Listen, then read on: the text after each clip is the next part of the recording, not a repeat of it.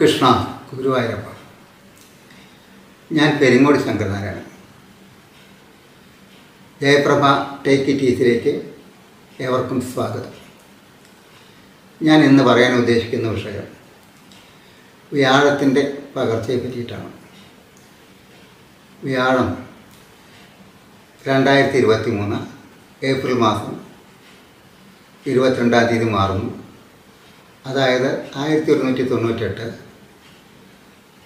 മേടമാസം എട്ടാം തീയതി മാറുന്നു. വ്യാഴം ഒരു സാത്വിക ഗ്രഹമാണ്. വല്ലാതെ ദോഷം ചെയ്യാൻ തയ്യാറില്ലാത്ത ഒരു ഗ്രഹമാണ് വ്യാഴം.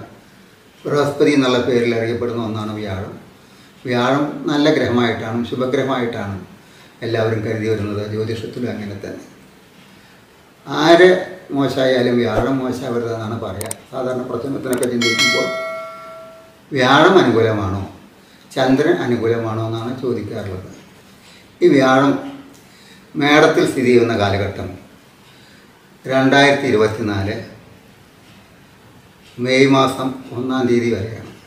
രണ്ടായിരത്തി ഇരുപത്തി മൂന്ന് ഏപ്രിൽ മാസം ഇരുപത്തിരണ്ടാം തീയതി മുതൽ രണ്ടായിരത്തി ഇരുപത്തിനാല് മെയ് മാസം ഒന്നാം തീയതി വരെയുള്ള ഫലമാണ് പറയാൻ പോകുന്നത്. വ്യാഴം മീനൻ രാശിയിൽ നിന്ന് മേടൻ രാശിയിലേക്ക് മാറുമ്പോൾ അത് സാധാരണക്കാരായ ജനങ്ങളെ എങ്ങനെ ബാധിക്കുന്നു എന്നുള്ളതാണ് ഇന്നത്തെ ഈ ചിന്താ വിഷയം. പക്ഷേ ഈ ഒരു ഗ്രഹത്തെ മാത്രമായിട്ടാണ് നമ്മളിവിടെ ചിത്രീകരിക്കുന്നതെങ്കിലും ശനിയുടെ പകർച്ച കൊണ്ടും ചൊവ്വയുടെ പകർച്ച കൊണ്ടും ബുധന്റെ പകർച്ച കൊണ്ടും ഗ്രഹണം കൊണ്ടും പല കാര്യങ്ങളെ കൊണ്ടും ഇതിന്റെ ഫലങ്ങൾക്ക് വ്യത്യാസം വരാവുന്നതാണ്. ഞാൻ ഇവിടെ പറയാൻ പോകുന്നത് വ്യാഴമാറ്റം കൊണ്ടുള്ള ഫലങ്ങളെ ഉദ്ദേശിച്ച് മാത്രമാണ്. വ്യാഴം ജന്മരാശിയിൽ നിന്നാൽ എന്താണ് ഫലം? രണ്ടിൽ നിന്നാൽ എന്താണ് ഫലം? വ്യാഴം മൂന്നാം രാശിയിൽ നിന്നാൽ എന്താണ് ഫലം? അങ്ങനെ പോകുന്നു. അത് ഓരോ കൂറ് അല്ലെങ്കിൽ രാശി വഴിക്കാണ് പറയുന്നത്. മേടക്കൂറ്. അശ്വതി ഭരണി കാർത്തിക നക്ഷത്രത്തിന്റെ ആദ്യത്തെ പതിനഞ്ച് നാഴിയും കൂടിയതാണ് മേടക്കൂർ വളരെ കാലമായിട്ട് ഉദ്ദേശിച്ച കാര്യം നിറവേറും ചിരകാല അഭിലാഷം പൂവണി വളരെ കാലമായിട്ട് കാണാൻ ആഗ്രഹിക്കുന്ന വ്യക്തികളെയും കണ്ടുമുട്ടാനിടയുമുണ്ട് വളരെ കാലത്തെ ഭഗീരഥ പ്രയത്നത്തിന് ശേഷം ഡിഗ്രി അല്ലെങ്കിൽ നല്ല ക്വാളിഫിക്കേഷൻ കിട്ടിയ വ്യക്തികൾക്കൊക്കെ ഉദ്യോഗം ലഭിക്കാതെ വിഷമിച്ചുകൊണ്ടിരിക്കുന്ന വ്യക്തികൾക്ക് നല്ല ഉദ്യോഗം ലഭിക്കാനും സാധ്യതയേറെയുള്ള ഒരു കാലഘട്ടമാണ് മേടത്തിൽ വ്യാഴം നിൽക്കുമ്പോൾ. പലവിധ ദുഃഖങ്ങളും ഉണ്ടാവുന്നുള്ള പ്രമാണമൊക്കെ ഉണ്ട്. ജന്മത്തിൽ വ്യാഴം നിൽക്കുമ്പോൾ അതായത് ഇപ്പോൾ മേട മേടക്കൂറുകാർക്ക് മേടത്തിൽ കയറാൻ നിൽക്കുമ്പോൾ എല്ലാ കഥകളും ഗംഭീരമായിക്കൊള്ളണമെന്നില്ല ചില ദോഷങ്ങളും ഉണ്ടാവും ജന്മേ രാമവനേ ദുഃഖം. ശ്രീരാമന് വനത്തിൽ പോകേണ്ട ദുഃഖങ്ങളൊക്കെ അനുഭവിക്കേണ്ടി വന്നത് വ്യാഴം ജന്മത്തിൽ നിൽക്കുമ്പോഴാണ് അത്ര അത് ഒരു ഭാഗം. എങ്കിലും ജന്മത്തിൽ വ്യാഴം പ്രശ്നത്തിനൊക്കെയാണെങ്കിൽ ജന്മത്തിൽ വ്യാഴം നിന്നാൽ അവിടെ നല്ലതെന്ന് പറയും. പക്ഷേ ജാതവശാലോ ഗോചരവശാൽ ഇപ്പം നമ്മൾ ചിന്തിക്കുന്നത് ഗോചര ഫലങ്ങളെ പറയാനാണ്.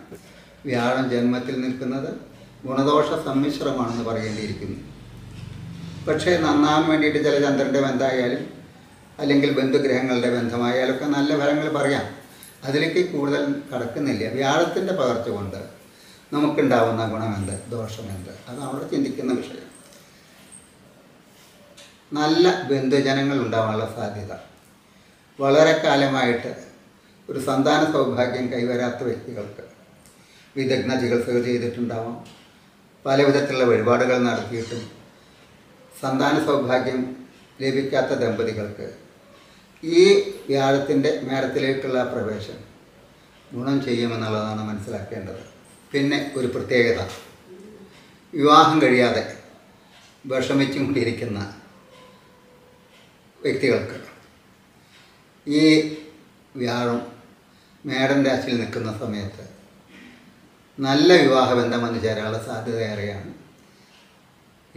ഇടയിൽ ആവശ്യമാണ്. എങ്കിലും വന്നു ചേരും എന്നുള്ള കാര്യത്തിൽ യാതൊരു സംശയമില്ല അതുപോലെ തന്നെ വ്യാഴത്തിന്റെ ഈ പകർച്ച മൂലം എന്തൊക്കെ ചില പ്രത്യേക സാഹചര്യങ്ങളാൽ വിവാഹമോചനം നടത്തേണ്ടി വന്ന വ്യക്തികൾക്കും ഈ കാലഘട്ടം അവർക്കിഷ്ടപ്പെട്ട അല്ലെങ്കിൽ അവരാഗ്രഹിക്കുന്ന വീണ്ടും ഒരു ബന്ധം വിവാഹബന്ധം ലഭിക്കാൻ സാധ്യത ഏറെയാണ് പുനർവിവാഹത്തിനുള്ള സാധ്യത ഏറെയാണ്. ചില പരസ്യങ്ങളൊക്കെ ചെയ്തതൊക്കെ പലരും പ്രവർത്തിക്കാറുണ്ട്. എങ്കിലും അതിന്റെ അനുഭവം പലതും തട്ടിപ്പോവാറുണ്ട്. പക്ഷേ ഇത്തവണത്തെ ഫലം അങ്ങനെയാവില്ല. മേടൻ രാശിയിൽ വ്യാഴം നിൽക്കുമ്പോൾ വിവാഹബന്ധത്തിനൊക്കെ സാധ്യത ഏറെയാണ്. പുനർവിവാഹത്തിനും സാധ്യത ഏറെയാണ്. അത് അത് വേണ്ടവർക്ക്. വ്യാഴം വെറുതെ മേടൻ രാശിയിൽ കടന്നാൽ എന്താണ് ദോഷോ ഗുണോ ചോദിച്ചാൽ ചൊവ്വയുടെ ക്ഷേത്രമാണ്. ചൊവ്വ ക്ഷേത്രം എന്ന് പറഞ്ഞാൽ സമനാണ്. വ്യാഴത്തിന്റെ സമനാണ് ചൊവ്വ. അപ്പോൾ സമൻ എന്ന് പറഞ്ഞാൽ അല്ലെങ്കിൽ തന്നെ പോലുള്ള ഒരു വ്യക്തിയുടെ വീട്ടിലത്തിലേക്ക് പ്രവേശം ഒട്ടും ദോഷമല്ല. അത് പൊതുവെ നല്ലതാണ്. അപ്പോൾ പലതും നല്ലത് കാര്യങ്ങൾ നടത്താൻ പറ്റിയ ഒരു കാലഘട്ടമാണ് ഈ കാലഘട്ടം. എല്ലാവരും ഇപ്പോൾ ജന്മത്തിൽ വ്യാഴം വന്നാൽ പലവിധ ദുഃഖങ്ങളുണ്ടാവും എന്ന് പറയുന്നു. ശ്ലോകമൊക്കെ അത് ശരിയാണ്. അപ്പം അതുകൊണ്ട് നാനാ ദുഃഖം എന്നാണ് ജന്മത്തിൽ വ്യാഴം പറയുമ്പോൾ ഇപ്പോൾ ജന്മം എന്ന് പറഞ്ഞാൽ ഇപ്പോൾ മേടക്കൂർ എടുക്കുമ്പോൾ അത് ജന്മമാണ് വ്യാഴം. ആ വ്യാഴ കാലഘട്ടത്തിൽ ജന്മത്തിൽ വ്യാഴം നിൽക്കുമ്പോൾ നമുക്ക് നാനാ ദുഃഖമെന്നാണ് പ്രമാണം പറയുന്നത് ഇപ്പോൾ ഇപ്പോൾ ജാതകാദേശം എന്ന് പറഞ്ഞാൽ ഒരു ഗ്രന്ഥത്തിൽ പറയുന്നത് ജന്മത്തിൽ വ്യാഴം നിന്നാൽ പലവിധ ദുഃഖങ്ങൾ ഉണ്ടാവുന്നതാണ്. അത് അങ്ങനെ വ്യാഴത്തിന്റെ കാര്യം മാത്രം പറഞ്ഞുകൊണ്ടായില്ല. അവിടെ ശനി എങ്ങനെ നിൽക്കുന്നു? ചൊവ്വ എങ്ങനെ നിൽക്കുന്നു? ശുക്രൻ എങ്ങനെ നിൽക്കുന്നു? ബുധൻ എങ്ങനെ നിൽക്കുന്നു? പല കാര്യങ്ങളും ഇതിൽ കണക്കിലെടുക്കേണ്ടിയിരിക്കുന്നുണ്ട്. പ്രത്യേകിച്ചും വ്യാഴവും ചന്ദ്രനും കൂടി ഭയങ്കര കോമ്പിനേഷനുള്ള ഗ്രഹങ്ങളാണ്. ഫലങ്ങൾക്കൊക്കെ വ്യത്യാസം വരാവുന്നതാണ്. ഈ വ്യാഴത്തിന്റെ പകർച്ച കൊണ്ട് വളരെ കാലമായിട്ട് സാമ്പത്തിക ഞെരുക്കം അനുഭവപ്പെട്ടു വരുന്ന വ്യക്തികൾക്ക് ഭാഗ്യക്കുറി കിട്ടുകയോ മൂലമോ അല്ലെങ്കിൽ ഭൂസ്വത്തുകൾ ലഭിച്ച വഴിയോ? അല്ലെങ്കിൽ പുതിയ ചില ബിസിനസ് നടത്തിയതിന്റെ ലാഭം കൊണ്ടോ കരാർ ജോലികളിൽ നിന്നോ വലിയ സാമ്പത്തിക നേട്ടം ഉണ്ടാവാനുള്ള ലക്ഷണം കാണുന്നുണ്ട്. ഒറ്റയ്ക്ക് ചെയ്യുകയാണ് ഈ വ്യാപാരത്തിൽ നല്ലത്. ഒരു പങ്കാളിയെ നമ്മൾ സ്വീകരിച്ചാൽ പ്രത്യേകിച്ചും മേടക്കൂറുകാർ അത് ദോഷമാണ് ഗുണത്തെക്കാട്ടിലും അധികം ഉണ്ടാവാനുള്ള സാധ്യത. അതുകൊണ്ട് പങ്കാളിയില്ലാതെ അവനെന്റെ ഭാര്യയോ കുട്ടികളെയൊക്കെ നമ്മളതിൽ ചേർക്കാം. അതൊക്കെ അവരുടെ ഒരാൾക്കാരുടെ സ്വത്ത് തന്നെ. മറ്റുള്ളവരുടെ ധനം കിട്ടിയിട്ട് പപ്പാതി വെച്ചിട്ട് അല്ലെങ്കിൽ അതിൽ നാല് ഷെയർ എടുത്തു ഇവിടെ അഞ്ച് ഷെയർ എടുത്തു അങ്ങനത്തെ കഥകളൊക്കെ പറഞ്ഞും കൊണ്ട് ചെയ്യുന്നതിനേക്കാളും ഭേദം ഒറ്റയ്ക്ക് ചെയ്യില്ല എന്നുള്ളതാണ് ഈ സമയത്ത് ഈ സമയത്ത് ഓർമ്മിപ്പിക്കേണ്ട കാര്യം.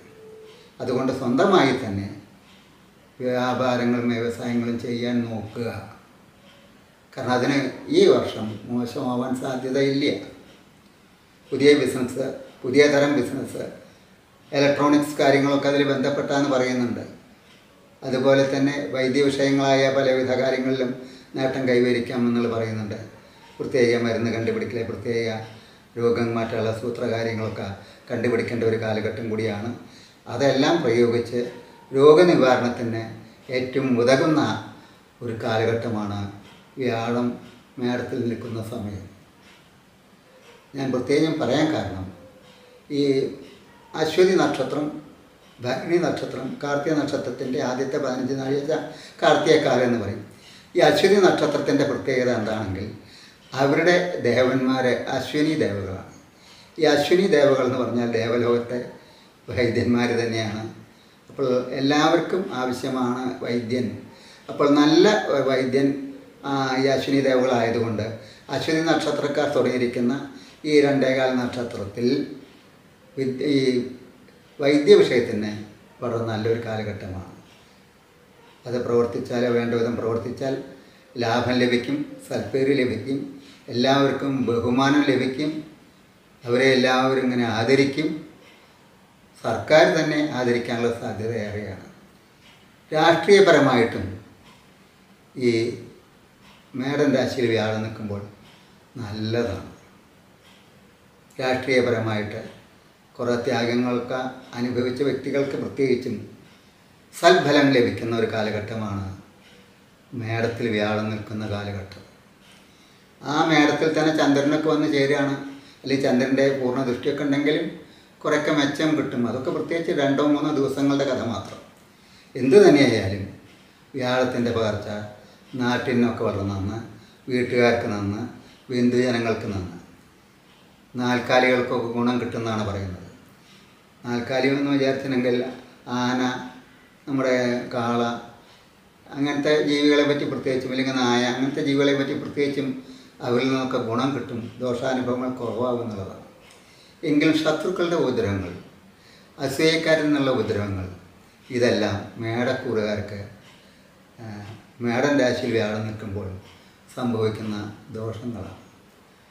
ലഹരി പദാർത്ഥങ്ങൾക്ക് ഉപയോഗി വേണ്ട എന്ന് വിചാരിക്കാൻ ഇവർ തയ്യാറായാൽ ഏറ്റവും നന്നായിരിക്കും. ലഹരി പദാർത്ഥങ്ങൾ ഉപയോഗിക്കുന്നവരുണ്ടെങ്കിൽ അത് എങ്ങനെയെങ്കിലും നിൽ നിർത്താൻ നോക്കുക. എന്നാൽ അവർക്ക് ഐശ്വര്യം വന്ന് ചേരുമെന്നാണ് ആദ്യം തന്നെ പറയേണ്ടത്. മനസ്സിന് വളരെയധികം ഏകാഗ്രത കൊടുത്ത് ഈശ്വര പ്രാർത്ഥന ചെയ്ത് ഈശ്വരൻ ഉണ്ടെന്ന് മനസ്സിലാക്കി പ്രവർത്തിച്ചാൽ സൽഗുണസമ്പന്നർ പ്രവർത്തിച്ചാൽ അവർക്ക് ദോഷങ്ങളില്ലാതെ ഗുണങ്ങൾ വന്നു ചേരുന്നതാണ്. പഴയ പ്രമാണം തന്നെ തന്നെയുള്ളതാണ് അതുകൊണ്ട് മേടൻ രാശിക്ക് അതിന്റേതായ പ്രാധാന്യമുണ്ട്. മേടം സൂര്യന് ഉച്ചമാണ്. അപ്പോൾ സൂര്യനാണ് നമ്മുടെ കാണപ്പെട്ട ദൈവം. നമ്മൾ ഈ ലോകത്ത് ജീവിക്കുന്നതിന് സൂര്യനില്ലെങ്കിൽ ഒന്നുമില്ല. ആ സൂര്യൻ തന്നെ ഒരു ഈശ്വരന് തുല്യമാണ് അല്ലെങ്കിൽ ഈശ്വരനാണ്. അപ്പോൾ ആ മേടത്തിൽ തന്നെ വ്യാഴം പറഞ്ഞ ബൃഹസ്പതി ശുഭഗ്രഹമാണ് വന്ന് ചേർന്നാൽ അത് വളരെ നല്ലതാണ്. ചന്ദ്രനും ഈ മേടത്തിൽ വരുന്ന ആ കാലഘട്ടം ചന്ദ്രനും ഇയാളെ കൂടി ഒരുമിച്ച് വരുമ്പോഴത്തെ ആ കാലഘട്ടം വളരെ നല്ലതാണ്. കാരണം ചന്ദ്രനായിട്ടുള്ള കേന്ദ്രസ്ഥിതി വ്യാഴത്തിന് എപ്പോഴും അനുകൂലമാണ്. ഹന്തി സർവഗ്രഹാരിഷ്ടം ചന്ദ്രകേന്ദ്രീയ ബൃഹസ്പതി എന്ന പ്രമാണമുണ്ട്. അങ്ങനെ നോക്കുമ്പോൾ ഈ വ്യാഴത്തിന്റെ ഈ മാറ്റം പൊതുവെ നാട്ടുകാർക്കും വീട്ടുകാർക്കും എല്ലാ മനുഷ്യർക്കും ബാധകമാണ്. വളരെ നല്ലൊരു കാലഘട്ടമായിട്ടാണ് ചിത്രീകരിക്കേണ്ടി വന്നത്. എങ്കിലും അന്യരുടെ വാക്ക് കേട്ട് അബദ്ധത്തിൽ ചെന്ന് ചാടാതിരിക്കാൻ പ്രത്യേകം ശ്രദ്ധിക്കണം. സന്താനങ്ങളുടെ ഓരോരോ കാര്യങ്ങളും നമ്മൾ പ്രത്യേകം നിരീക്ഷണം നടത്തേണ്ടതാണ്. ഏതാണ്ട് ഒരു പത്ത് പതിനഞ്ച് വയസ്സ് പതിനെട്ട് വയസ്സിന്റെ ഇടയിലൊക്കെ കുട്ടികളുടെ സ്വഭാവമൊക്കെ വ്യത്യാസപ്പെടാൻ സാധ്യതയേറെയാണ്. രക്ഷിതാക്കളുടെ കൺട്രോൾ വിട്ട് വേറെ വല്ല സ്ഥലത്തേക്കും പഠിക്കാൻ പറഞ്ഞയച്ചാൽ അവരെന്തു ചെയ്യുന്നു എന്നുള്ളത് അറിയാൻ നമ്മൾ ബാധ്യസ്ഥരാണ്. അങ്ങനെയൊന്നും കുട്ടികളെ അഴിച്ചുവിടാതെ വിദ്യാർത്ഥികളെ അഴിച്ചുവിടാതെ ഒരു മേൽനോട്ടം ഉണ്ടായാൽ വിദ്യാഭ്യാസ കാര്യത്തിൽ സമുന്നത സ്ഥാനം നേടാൻ വിദ്യാർത്ഥികൾക്ക് സന്താനങ്ങളായ വിദ്യാർത്ഥികൾക്ക് കഴിയുമെന്നുള്ള കാര്യത്തിൽ യാതൊരു സംശയവുമില്ല. നവീന ഗ്രഹാരംഭ പ്രവർത്തനം നടത്താം പുതിയ വീട് പണിയാനുള്ള ശ്രമങ്ങൾക്ക് വിജയം വരാമെന്ന കാര്യമാണ്. വസ്തുവാഹന ലാഭം വസ്തുക്കളും വാഹനങ്ങളും നമുക്ക് ലഭിക്കും. ഊഹക്കച്ചവടത്തിൽ കണ്ടമാനം ലാഭം കൊയ്യാൻ കഴിയുന്നുള്ളതാണ് മനസ്സിലാക്കേണ്ടത്. ഊഹ അതായത് ഊഹക്കച്ചവടം നടത്തുമ്പോൾ അതിലത്തെ തരുന്ന ആൾക്ക് ആ നമുക്കുള്ള ആ കരാർ ജോലി നമുക്കുള്ള ഏൽപ്പിക്കുന്ന ആൾക്ക് ലാഭം വളരെ കുറയുകയും ഇത് നടത്തിക്കൊണ്ടുവരുന്ന വ്യക്തിക്ക് നല്ല അത് മൂന്നോ നാലോ ഇരട്ടി ലാഭം വരെ വരാമെന്നു എന്നാണ് പ്രമാണം പറയുന്നത്. അതുകൊണ്ട് ബിസിനസ് നടത്താനും അവനവന്റെ കാര്യങ്ങൾക്ക് ഒരു മുൻതൂക്കം കൊടുക്കാനും ഇക്കാലം വളരെ നല്ലതാണ്. പക്ഷേ കണ്ടമാനം ഉറക്കൊഴുക്കുക വളരെയധികം കഠിനാധ്വാനം ചെയ്യുക അതൊക്കെ ഒഴിവാക്കണം. കാരണം അധികമായാൽ അമൃതം വിഷം. കണ്ടമാനം രാത്രി ഉറപ്പൊഴിച്ചിട്ടൊക്കെ പണി ചെയ്ത് പൈസയ്ക്ക് വേണ്ടി ഇങ്ങനെ നീന്തിയാൽ രോഗം വന്ന് പിടിപെട്ട് നല്ല അത് ലഭിക്കേണ്ട അവസ്ഥ ഇല്ലാതെയായി പോകാൻ സാധ്യത ഏറെയാണ്. അതുകൊണ്ട് ഈശ്വരനെയൊക്കെ വിചാരിച്ച് ക്രമാക്രമം നമ്മൾ ഓരോരോ കാര്യങ്ങൾ ചെയ്തു തീർത്ത് ആവശ്യത്തിന് നന്നായിട്ട് ഭക്ഷണം കഴിക്കുക വ്യായാമം ചെയ്യുക നന്നായി ഉറങ്ങുക. ഇത് പ്രവർത്തിച്ചാൽ യാതൊരു ദോഷവും ഉണ്ടാവില്ല എന്നാണ് പറയുന്നത്. കാരണം പകൽ സമയത്ത് ഈ കാര്യങ്ങളെല്ലാം ചെയ്യുക. പണ്ട് പറയാറുണ്ട് വെളിച്ചം വിശ്രമം വെള്ളം വ്യായാമം വായു ഭക്ഷണം രോഗജാലം നശിപ്പിക്കും വൈദ്യന്മാർ ആറു പേരുകൾ. ഇന്നത്തെ കാലഘട്ടത്തിൽ മനസ്സിനെ ഏറ്റവും വിഷമിപ്പിക്കുന്ന സംഭവങ്ങൾ രോഗങ്ങളെ കൊണ്ടാണ്. പുതിയ പുതിയ രോഗങ്ങൾ ഉണ്ടാകുക അപ്രതീക്ഷിതമായിട്ട് രോഗങ്ങൾ വന്നു ചേരുക. ലക്ഷണങ്ങളൊന്നും നാല് ദിവസം മുമ്പ് വരെ ഒരു ലക്ഷണവും ഇല്ലാതെ ഉടനടി ലക്ഷണങ്ങൾ വന്നിട്ട് നമ്മളെ വിഷമിപ്പിക്കുക. ഒരു ആശുപത്രിയിൽ നിന്ന് വേറെ ആശുപത്രി കൊണ്ടുപോവുക. കണ്ടമാനം ടെസ്റ്റുകൾക്കൊക്കെ ലക്ഷക്കണക്ക് പലരും ചാർജ് ചെയ്യുക. ഇങ്ങനെ രോഗം രോഗമെന്നുള്ളൊരു വിഷയം കൊണ്ട് വളരെയധികം വിഷമിക്കുന്ന ആൾക്കാർ എനിക്ക് അറിയാം. അതുകൊണ്ട് രോഗം വരുന്നതിന്റെ മുമ്പ് തന്നെ ഈശ്വര പ്രാർത്ഥന നടത്തുക. അതാണ് ചെയ്യേണ്ട കാര്യങ്ങൾ. ഭാഗ്യം ഉണ്ടാവുന്ന ഒരു കാലഘട്ടമാണ്. അതുകൊണ്ട് ഭാഗ്യക്കുറി ടിക്കറ്റ് എടുക്കുക ഭാഗ്യം ഒരാളെ സൂത്രങ്ങളൊക്കെ ആലോചിച്ച് പ്രവർത്തിക്കുക ചെയ്യുക. എന്നാൽ അന്യരുടെ വാക്ക് കേട്ട് അബദ്ധത്തിൽ ചെന്ന് ചാടാതിരിക്കാൻ പ്രത്യേകം ശ്രദ്ധിക്കണം. ഈ വ്യാഴം മേടക്കൂകാർക്ക് വരുന്ന ഒരു സംഭവം എന്താണെങ്കിൽ അവർക്കധികം ആലോചിക്കാത്ത അന്യർ അത് ചൂഷണം ചെയ്തെടുക്കാനുള്ള സാധ്യത ഏറെയാണ്. ഇപ്പം പല പരസ്യങ്ങളും ഭ്രമിച്ച് ധനനഷ്ടം വരിക അഭിമാന നഷ്ടം വരിക സമയനഷ്ടം വരിക. അങ്ങനെ പലതും സംഭവിക്കാനുള്ള സാധ്യത ഏറെയുള്ള ഈ കാലഘട്ടത്തിൽ. അങ്ങനെ കാര്യമായിട്ടൊന്നും ചെയ്യാതെ അതിൽ നമുക്ക് കൂടുതൽ നമ്മൾ വിശ്വസിച്ച് പോകണ്ട. ചില കാര്യങ്ങൾക്കൊക്കെ ചെയ്യാം. എങ്കിലും ഇടയ്ക്ക് എല്ലാ ദിവസങ്ങളും ഇങ്ങനെ ഓരോ പരീക്ഷണങ്ങൾക്ക് നീങ്ങിയാൽ നമുക്ക് നഷ്ടം മാത്രമേ വരൂ. സമാധാനം നമ്മുടെ മനസ്സിന് തീരെ ഉണ്ടാവില്ല. അങ്ങനെ നമ്മൾ മനസ്സമാധാനം കുറഞ്ഞും കൂടുതൽ കായിക അല്ല കായികമായിട്ട് പ്രവർത്തനങ്ങൾ നടത്തിയും ഉറക്കൊഴുക്കും ചെയ്തിട്ട് ഒട്ടും പ്രയോജനമില്ല. വ്യാഴത്തിന്റെ ഭരണകാലത്ത് നമുക്ക് നന്നായി ഉറക്കം നല്ല ഭക്ഷണങ്ങൾ സജ്ജനങ്ങളായിട്ട് പെരുമാറാം. അസത്യം പറയാത്ത അവസ്ഥ നല്ല കാലാവസ്ഥ ലഭിച്ച് അല്ലെങ്കിൽ കുറച്ച് സൂര്യവെയിലൊക്കെ സൂര്യന്റെ വെയിലൊക്കെ തുടക്കവും സമയത്തും അവസാന സമയത്തും കൊണ്ട് വിറ്റാമിൻ ഡി ഒക്കെ ദേഹത്തിൽ പ്രവർത്തിച്ച് അങ്ങനെയൊക്കെയാണ് ഇതിന്റെ കഥകൾ പറയുന്നത്. അതെല്ലാം ചെയ്താൽ പൂർണ ആരോഗ്യവാനായിട്ട് ജീവിക്കാൻ കഴിയും എന്നുള്ളതാണ് നമുക്ക് പറയേണ്ട ഒരു പ്രത്യേകത കാര്യം. സുഖചികിത്സ നടത്താൻ ഏറ്റവും പറ്റിയ ഒരു കാലഘട്ടമാണ്. വ്യാഴം മേടക്കൂറിൽ നിൽക്കുന്ന കാലഘട്ടം നല്ല ചികിത്സയ്ക്ക് നല്ലതാണ്. രാജബഹുമാനത്തിന് പറ്റിയ ഒരു കാലഘട്ടമാണ്. കാരണം ബൃഹസ്പതി എന്ന് പറഞ്ഞാൽ ഒരു രാജാവ് തന്നെയാണ്. അപ്പോൾ രാജാക്കന്മാരിൽ നിന്നോ അല്ലെങ്കിൽ നമ്മുടെ ഇന്നത്തെ കാലത്ത് മന്ത്രിമാരിൽ നിന്നൊക്കെ പുരസ്കാര ലബ്ധി അല്ലെങ്കിൽ അവർ വിചാരിച്ച കാര്യങ്ങളൊക്കെ നേരാവലെ ഉന്നത വ്യക്തികളുമായിട്ട് പരിചയപ്പെടുവാൻ ഇടവരുകയും തന്മൂലം ഭാവിയിൽ അത് ഗുണാനുഭവം ഉണ്ടാക്കാൻ കഴിയുകയും ചെയ്യും. ഇതൊക്കെ ഈ മേടത്തിൽ വ്യാഴം നിൽക്കുന്ന കാലഘട്ടത്തെ പറ്റി പറയേണ്ട വസ്തുക്കളാണ്. സന്താനങ്ങളെ ചൊല്ലിയിട്ട് ഇടയ്ക്ക് വിഷമങ്ങൾ ഉണ്ടാവാനുള്ള സാഹചര്യം ഇല്ല എന്നില്ല എങ്കിലും അതൊക്കെ ഒരു നൂറിൽ ഒരു ഒന്നേ ഉള്ളൂ. തൊണ്ണൂറ്റൊമ്പത് ഭാഗം സന്താനങ്ങളെ കൊണ്ട് ഗുണാനുഭവം ശ്രേഷ്ഠത ബന്ധുജന സമാഗമം അന്യദേശവാസം വിദേശ യാത്ര വളരെ കാലമായിട്ട് വിദേശങ്ങളിലൊക്കെ ഒന്ന് പോയിട്ട് സഞ്ചരിക്കണം അവിടേക്ക് ഒന്ന് കാണണം എന്ന് ആഗ്രഹിക്കുന്ന വ്യക്തികളൊക്കെ അതിനുള്ള അവസരം വന്നു ചേരുന്നു നല്ല ഭക്ഷണം ലഭിക്കുന്ന ഒരു കാലഘട്ടം. അതായത് അശ്വതി നക്ഷത്രക്കാരും ഭരണി നക്ഷത്രക്കാരും കാർത്തിക എടുക്കുമ്പോൾ അവർക്കൊക്കെ പാചകകലയിൽ വൈദഗ്ധ്യം സമ്പാദിക്കാൻ ഒരു പ്രമാണം ഒരു രീതി പറയേണ്ട ശുക്രനായിട്ടൊക്കെ ബന്ധം വേണം. എങ്കിലും നന്നായിട്ട് ഭക്ഷണം പാകം ചെയ്യുക അതൊരു കലയാണ്. പാചകം ഒരു കലയാണ്. അപ്പോൾ കലാകാര്യങ്ങളിൽ ഇവർക്ക് സമുന്നത സ്ഥാനം നേടിയെടുക്കാൻ കഴിയും. ഞാൻ ഇത്രയും പറയാൻ കാരണം മേടത്തിലേക്കുള്ള വ്യാഴത്തിന്റെ പ്രവേശം കാര്യമായിട്ടൊരു ദോഷം ചെയ്യില്ല. ഗുണം നന്നായിട്ട് ചെയ്യും. അതുകൊണ്ട് അത്യാവശ്യം ചില വഴിപാടുകളൊക്കെ കഴിച്ചാൽ പരിപൂർണമായ നേട്ടങ്ങൾ കൈവരിക്കാൻ പറ്റും. യുദ്ധം തന്നെ ജയിക്കാൻ പറ്റുമെന്നാണ് പറയുന്നത്. പലവിധ കഥകളും പുരാണങ്ങളുണ്ട്. അതിലേക്ക് വേണ്ട നിത്യജീവിതത്തിൽ തന്നെ ഇങ്ങനെ പ്രവർത്തിക്കുന്നവർക്ക് ഗുണം ചെയ്യും. എങ്കിലും അയൽപ്പക്കക്കാരുമായിട്ട് ഇടയ്ക്ക് ശല്യങ്ങൾ ഉണ്ടാക്കാം. അനാവശ്യ വ്യവഹാരങ്ങൾ അസൂയെ കൊണ്ട് കൊടുത്തിട്ട് നമുക്ക് ചില കോടതിയിൽ കയറി ഇറങ്ങേണ്ട യോഗങ്ങൾ വന്നേക്കാം. ഇടയ്ക്ക് നിസ്സാര വീഴ്ചകൾ പല അതിനൊക്കെയുള്ള സാധ്യത ഏറെയാണ്. യന്ത്ര തകരാറ് മൂലം ധനനഷ്ടം സംഭവിക്കാം. നല്ല യന്ത്രങ്ങളൊക്കെ കൊടുന്നു. എന്നാലും ചില സന്ദർഭങ്ങളിൽ വ്യാഴത്തിന്റെ മാത്രം കഴിവ് അല്ലാത്ത വേറെ ചിലവുകളും അതിനെ ബാധിക്കുമ്പോൾ ചില നിസ്സാരമായ അപകടങ്ങളൊക്കെ ഉണ്ടാവും. യന്ത്ര തകരാറ് മൂലം ധനനഷ്ടം സംഭവിക്കാം. അഭിമാന നഷ്ടവും സംഭവിക്കാം. അങ്ങനെ അല്ലറ ചില്ലറ നിസ്സാര കാര്യങ്ങളുണ്ടെങ്കിലും ആകപ്പാടെ നോക്കുമ്പോൾ വ്യാഴത്തിന്റെ പകർച്ച വളരെ അനുകൂലമാണ് എന്ന് പറയേണ്ടിയിരിക്കുന്നു. ജന്മാന്തര കൃതം പാപം വ്യാധി രൂപേണ ജായതേ തൽ ശാന്തിർ ഔഷധർ ധ്യാനർ ജപഹോമ അർച്ചനാദീവിയാണ് അതായത് ദോഷങ്ങളൊക്കെ ഉണ്ടെങ്കിൽ അതിനെ പരിഹരിക്കാൻ എന്താണ് മാർഗം? ജന്മാന്തരകൃതമായിരിക്കുന്ന പാപമാണ് അത്ര വ്യാധിയായിട്ടൊക്കെ വരുന്ന വ്യാധിച്ച ദുഃഖം എന്നും രോഗം എന്നൊരർത്ഥമുണ്ട് അതിന് എന്താ വേണ്ടത് വെച്ചാൽ അതിന് നമുക്ക് വേണ്ട കാര്യം തൽശാന്തി അതിന് ശാന്തിക്ക് വേണ്ടി ഔഷധം ധ്യാനം ജപം ഹോമം അർച്ചന മുതലായ കാര്യങ്ങൾ ചെയ്യാനാണ്. അതൊക്കെ നമ്മുടെ ശാസ്ത്രവിധിക്ക് അനുസരിച്ച് പ്രവർത്തിച്ചാൽ നന്നാവും. അതുമാതിരി ദോഷങ്ങളായ രോഗങ്ങളിൽ നിന്നൊക്കെ മുക്തി നേടാൻ പറ്റും സമാധാനം ഉണ്ടാവും ആയുസ് കൂടും ശത്രുക്കൾ കുറയും എന്നുള്ളതൊക്കെയാണ് അതിന്റെ ഫലങ്ങൾ. അപ്പം അതുകൊണ്ട് പൊതുവെ നോക്കുമ്പോൾ വ്യാഴത്തിന്റെ മാറ്റം ഒട്ടും മോശമല്ല എന്ന് പറയണം. സർപ്പപ്രീതി രവശ്യകരണീയം സൽസന്താനമാപ്തയിൽ എന്നുള്ള പ്രമാണമുണ്ട്. ഏതായാലും നമ്മളുടെ ദൈവത്തെ നന്നായിട്ട് വളരെയധികം വിശ്വാസത്തോടു കൂടി പ്രാർത്ഥിക്കുക.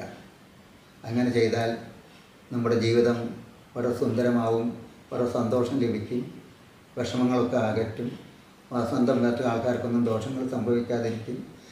മരിക്കാൻ സമയമായവരൊക്കെ മരിക്കും. അതിന് വലിയ ഒരു പ്രതിവിധി ഇല്ല എന്നൊക്കെ പ്രമാണമുണ്ട്. ജനിക്കാതിരിക്കാൻ മാത്രമാണ് മരിക്കാതിരിക്കാൻ ഒരു മാർഗം എന്ന് പണ്ട് ഒരു ചാക്കേരി പറഞ്ഞ കഥ എനിക്ക് ഓർമ്മ വരികയാണ്. എന്തായാലും ജനിച്ചാൽ മരണം ഉണ്ടാവും എന്നുള്ളത് നിശ്ചയമായ കാര്യമാണ്. അപ്പോൾ ആ കാലഘട്ടത്തിന്റെ ഉള്ളിൽ സൽക്കർമ്മങ്ങൾ ചെയ്ത് അന്യരെ സഹായിച്ച് വേണ്ട വിധം ദാനങ്ങളെല്ലാം ചെയ്യുക. ഈ മേടം ഇടവ മാസങ്ങളിലൊക്കെ വൈശാഖ മാസം എന്നുള്ള പേരിൽ അറിയപ്പെടുന്നു. ആ കാലത്തെ ഈ അക്ഷയ തൃതീയ എന്ന് പറഞ്ഞാൽ ഒരു ദിവസമുണ്ട്. ബലരാമ ജയന്തി ദിവസമാണ്. അതായത് വെളുത്ത പക്ഷത്തിലെ തൃതീയ എന്ന് പറഞ്ഞിരിക്കുന്ന ദിവസം വളരെയധികം ദാനങ്ങൾ നടത്തുക. അന്നദാനത്തിനോളം സമാനമായ വേറൊരു ദാനമില്ല എന്ന് പറയുന്നു.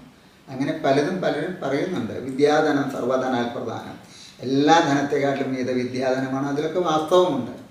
അപ്പോൾ നമ്മുടെ ജീവിതം സുരക്ഷിതമാക്കുവാൻ മേടത്തിൽ വ്യാഴം സഞ്ചരിക്കുമ്പോൾ മേടം രാശിക്കാരെ മേടക്കൂറുകാരെ ചെയ്യേണ്ട കാര്യങ്ങളെപ്പറ്റിയാണ് ഞാൻ പറഞ്ഞത്. കാരണം അവരുടെ അനുഭവത്തെക്കാട്ടിലും കൂടുതൽ പരിഹാരം പറഞ്ഞു എന്ന് എനിക്ക് തോന്നുന്നുണ്ട്. എങ്കിലും അതൊന്നും തെറ്റല്ല. ആവുന്നത് നമുക്ക് ചെയ്യാൻ പറ്റുന്നത് നമ്മൾ ചെയ്യുക. എല്ലാം ചെയ്തു തീർക്കണമെന്ന് ഞാൻ പറയുന്നില്ല. അത് ചെയ്താൽ ദോഷശാന്തി ഉണ്ടാകുന്നുള്ള കാര്യത്തിൽ യാതൊരു സംശയവുമില്ല. നമസ്കാരം.